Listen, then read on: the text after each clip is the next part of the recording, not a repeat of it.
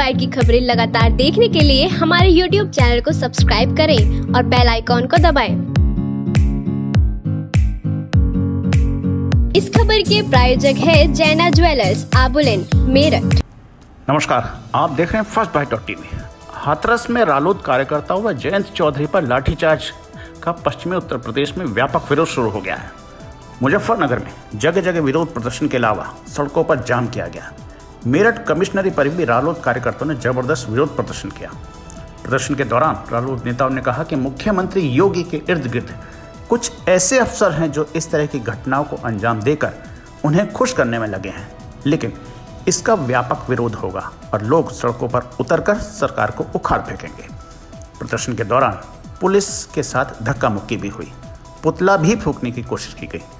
Police का कहना है कि इसमें कुछ असामाजिक तत्व भी शामिल थे। वीडियो फुटेज देखकर उनके खिलाफ विधि सम्मत कार्रवाई की जाएगी। 8 अक्टूबर को मुजफ्फरनगर में इस घटना के विरोध में बड़ी सभा भी बुलाई गई है, जिसमें जयंत चौधरी भी भाग लेंगे। आइए पहले देखते हैं बीते दिवस का वह वीडियो, जिसमें पुलिस ने अपनी लाठियों का शिकार रालोद नेता जयंत चौधरी व कार्यकर्ताओं को बनाया।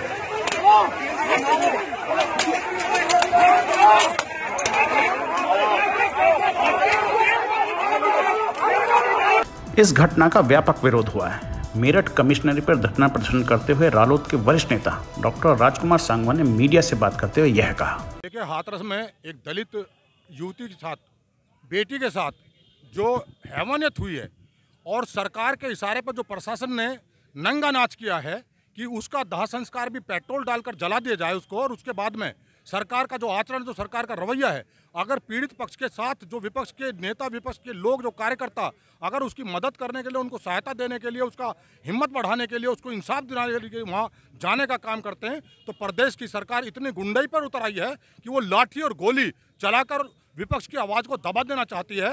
ये मुख्यमंत्री बोखला गए हैं। ये बोखला ही सरकार का नतीजा है। जिस तरह पुलिस से वो कार्रवाई करा रहे हैं। कल जयंत चौधरी जी पर पुलिस से कातिलाना हमला कराने का काम किया। ये सरकार के इशारे पर हुआ है। इसके पीछे दूसरी मंशा नहीं है कि विपक्ष की आवाज़ को दबाया जाए। जो पीड़िता को इंसाफ दिलाने के लिए जो जनमत जो उसके साथ खड़ा है, उसको रोका जाए। मैं सीधा आरोप लगा रहा हूँ कि प्रदेश की सरकार और सरकार इसके जो मुखिया हैं, उसके जो इर्द गिर्द कुछ अधिकारी हैं, ये भारतीय जनता पार्टी और सरकार को लेकर डूबेंगे। उनकी कार्यप्रणाली अभी इस मुख्यमंत्री को खुश करने की नीयत से, वो इस घटना को दूसरी तरफ़ डाइवर्ट करने का काम कर रहे हैं और ये बोखलाट का नतीजा है। जब सरकार बोखला जाती है और गलत कामों में, धंधों में फंस जाती है, तब वो इस तरह की हरकत करती है, जो उनका कल का आचरण है। फर्जी मुकदमे लिखवा गए, नेताओं के खिलाफ मुकदमे लिखवा गए। जब ये विपक्ष में था, तब इनका आचरण क्या था?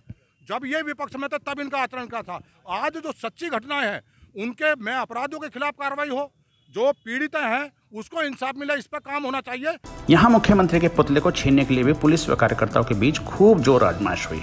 इस खबर में आज इतना ही। देखते रहिए फ़र्स्ट बाइट टीवी नमस्कार।